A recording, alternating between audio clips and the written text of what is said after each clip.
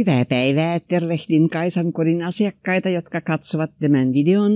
Minä olen Telma von Freiman, joka aikoinaan kasvoi tämän Bakbyn kartanon tyttärenä 30-luvulla.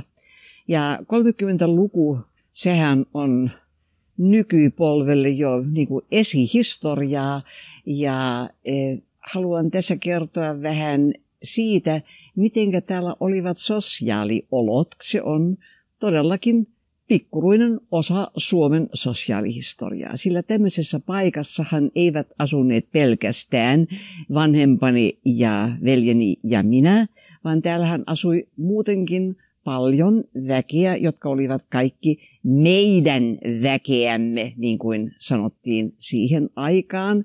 Ja me olimme erittäin ylpeitä siitä, että meidän väkemme oli eri, erikoisen hyvää väkeä.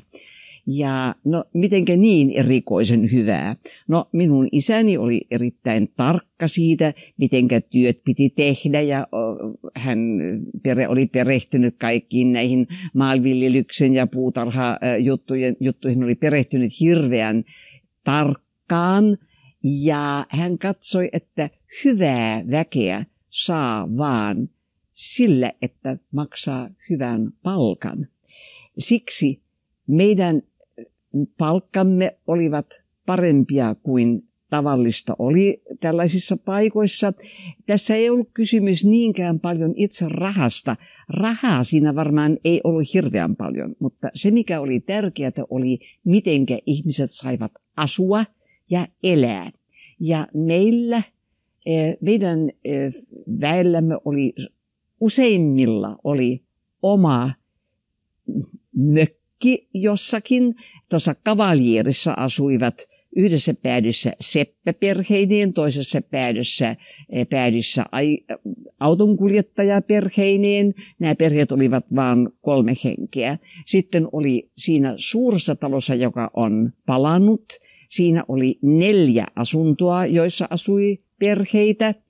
Sitten oli se talo, se kaksoistalo, missä asui vouti ja vielä yksi perhe kun menee kavalierin ohitse ulospäin, itäänpäin, niin sitten se talo on siinä rinteessä vasemmalla, kun on käynyt portista ulos.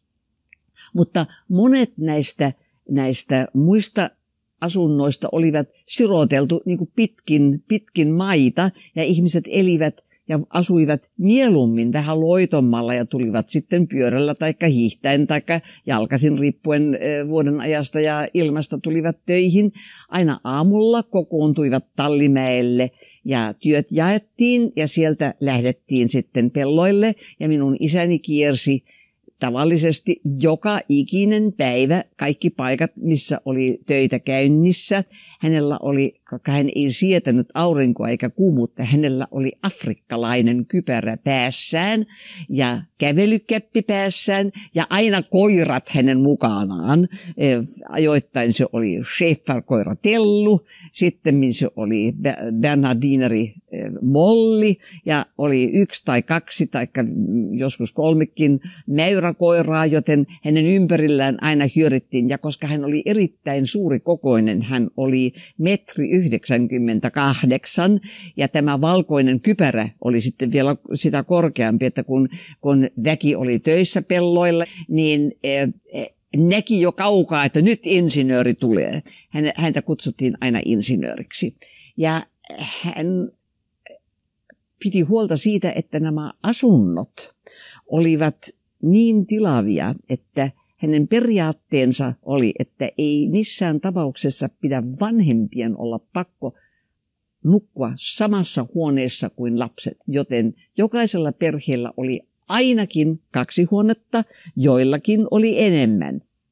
Kauppa-auto tuli ennen sodan alkua, en tiedä oliko se sodan aikana enää näin, mutta muistan kun mä olin pieni, niin se kauppa-auto, se seisoi aina siinä saunan vieressä kaksi kertaa viikossa tai olisiko se ollut yksi kerta, joten siellä voi sitten ostaa vähän tupakkaa ja sokeria tai sen semmoista, mitä paikka ei tuottanut, mutta muuten niin, niin ei hyvin paljon kuluja tullut. Ja tietysti ei täällä mitään eleganssia harjoitettu ja semmoinen sana kuin muoti. En luule, että mä olen lapsena sitä ikinä edes kuullut, vaan tässä puettiin niin, että maalla oli käytännöllistä ja me lapset olimme aina paljon jaloin koko kesän. No totta kai sitten kun oli talon vieraita ja juhlia sen semmoista, sitten pukeuduttiin hienosti, se oli itsestään selvää, mutta mä tarkoitan, että noin, noin arkisin meillä oli kotiompelijatar, joka ompeli esimerkiksi minulle eh, leninkejä, mitä tahansa, ja sinne laitettiin aina niin kuin tämmöiset saumat, että kun mä kasvoin, niin niitä voi sitten laskea ulos. Ja mä muistan kerran, että meillä oli vieraana joku perhe kaupungista, joilla oli tytär, joka oli minun ikäiseni. Ja se tyttö sanoi minulle, että minun äitini sanoi, että hän ei ymmärrä, kuinka sinun äitisi voi antaa sinun juosta ympäri maailmaa tämmöisissä tamineissa. Ja minä ajattelin, että onpa huonosti kasvatettu tyttö, ei noin sanota. Mutta sitä paitsi Mä olin sitä mieltä, että tyttö oli hirveän typerä, sillä jos täällä pukeuduttaisiin hienosti, niin eihän täällä voisi leikkiä. Mehän leikimme aina maastossa ja, ja, ja niin kuin kiipesimme puihin ja, ja e, niin poispäin. Jos tässä olisi ollut pakko varoa hienoja leninkejä koko ajan, niin mitään kivaa ei tämä elämä olisi ollut. Että niin kuin nämä, nämä arvot olivat aivan toisinlaisia kuin mitä ne nykyään ovat. Ja täällä tietysti tässä maastossa oli hirveän kiva leikkiä ja meillähän oli vaan kesäisin silloin, kun oli koululomaa, niin oli vieraita, joilla oli lapsia. Muuten meidän leikkikaverimme olivat meidän väkemme lapset, niin kuin esimerkiksi tämä Erkki Narinen, joka vieläkin asuu täällä seudulla. Ja kun mä myöhemmin sitten luin romaaneja, joista kävi ilmi, että oli semmoisia paikkoja, missä herrasväen lapset eivät leikkineet työväen lasten kanssa, niin minä aina kummastelin, että, että mitä, mitä kumman ihmisiä noi olivat. Ei se meillä sillä tavalla koskaan ollut. E, siis meidän väellämme oli hyvät olot siihen nähden, mikä silloin oli normaalia. Nykyään tietysti kukaan ei haluaisi enää asua sillä tavalla kuin he asuivat, eikä, eikä syödä pelkästään talon tuotteita, e, mutta ajat ovat muuttuneet. Sitten täällä oli koulu, ja se koulun rakennus, sen vanhan koulun rakennus on siellä vielä nähtävinä. Jos lähtee sen myllyn ja, ja puimon ohi pohjoiseen päin Snettansiin, niin oikealla puolella siinä, missä sijaitsee uusi koulu, mikä nyt toimiikin, niin sen edessä on pikkuruinen punainen talo, ja se oli silloin e, alakoulu, ja se oli ruotsinkielinen. Espoon kunta oli silloin vielä virallisesti pelkästään ruotsinkielinen, mutta virallinen status ei vastannut todellisuutta. Etenkin täällä Pohjois-Espoossa oli jo silloin, siis ennen kuin tämä suuri eteläänpäin muutto alkoi, täällä oli jo silloin aika paljon suomenkielisiä. Muuten niin meidän perhekielenämme oli kyllä ruotsi, mutta niin kuin kuuluu, niin lapset oppivat kyllä suomeakin. Ja Eh, sitten muuten puhuttiin myöskin saksaa, koska molemmilla vanhemmillani oli ollut eh, lapsena kaksikielisyys ruotsalais-saksalainen. Eh, mutta tässä suljetaan sulut. Niin tämä ruotsinkielinen alakoulu oli tietysti hirveän kova paikka meidän väemme lapsille, koska lukuun ottamatta puutarhuria, meidän väki oli melkein kokonaan suomenkielistä oli vielä pari ruotsinkielistä, mutta, mutta niillä ei ollut lapsia muistaakseni. Ne lapset, oli, joiden kanssa me leikimme, ne olivat lukuun ottamat, niin kuin sanottu, puutarhurin poikia, niin ne olivat kaikki suomenkielisiä. Ja minun isäni kävi hirveän sääli näitä lapsia, jotka joutuivat opettelemaan lukemaan ja kirjoittamaan vieraalla kielellä. Ja e, isä oli myöskin Espoon kunnan valtuustossa ja siellä hän alkoi ajaa sitä, että tänne olisi perustettava suomenkielinen koulu. Mutta nämä herrat olivat kaikki ruotsinkielisiä ja ne katsoivat, että hyvänen aika, jos me sinne vielä suomenkielisen koulunkin laitamme, niin sittenhän tämä suomettominen, sehän menee sitten vielä kovempaa vauhtia. Mehän haluamme säilyttää tämän kunnan ruotsinkielisenä. Mutta isä oli, vaikka oli kasvanut ruotsinkielisessä kodissa, niin oli hirveän suomen mielinen ja katsoi, että tämä on kerta kaikkiaan väärin ja se haittaa näitä lapsia. Ja ihan periaatteestakin tämä oli hänen mielestään väärin. Ja kun kunta ei ruvennut tässä perustamaan suomenkielistä koulua, niin isä suuttui ja sanoi, että no jos ei kunnat, kunta sitä tee, niin minä teen sen itse. Ja perusti siis tämän koulun. Se rakennus on vielä nähtävissä siellä, nähtävissä siellä eh, sen tien toisella puolella, joka vie ohi sitä nykyistä sitä vanharuotsansa eh, koulua. Niin sen, sen, sen tien toisella puolella – Eh, siellä se rakennus, se vanha koulurakennus, jonka isä silloin lahjoitti suomenkieliselle koululle, se on vielä, se on vielä siellä. Ja e, maksoi vielä opettajan palkankin. E, en tiedä missä vaiheessa sitten kunta ei enää kehdannut, vaan ainakin rupesi sitten maksamaan tätä palkkaa, mutta tiedän varmasti, että, että isä maksoi sen ensin ja minun veljeni ja Erkki Narinen kävivät tätä koulua. Silloin kun minä rupesin käymään koulua, silloin sitä ei vielä ollut. Ja sitten jossakin vaiheessa niin se vanha ruotsinkielinen alakoulu, se kuoli sitten sukupuuttoon. Yksi asia, joka vielä erotti meidän lapsuutemme niin suuresti nykyajan lapsuudesta.